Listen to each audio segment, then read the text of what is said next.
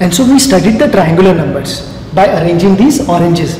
What if we were to arrange these oranges as squares? Let's see.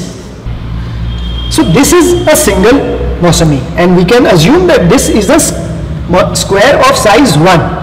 1 on both sides. Now if we have to make a square of Mossamis of size 2, we need 3 more Mossamis. Now this is a square of size 2. Now if we have to make a square of size 3, how many more do we need? 2, 2, 4 and 1, 5. And similarly, if we need to make a square of size 4, we will need 3 here, 3 here and an extra in the corner. And again, if we need to make a square of size 5, we will need 4 here, 4 here and then 1 in the corner. Let's do it. 4, 4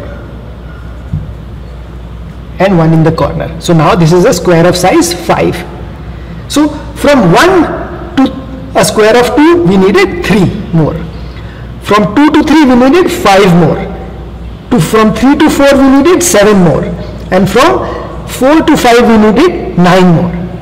1, 3, 5, 7, 9. Similarly, if we were to make a square of size 6, we will need 11 more. And so you can also see that 1 plus 3 is 4, which is a square.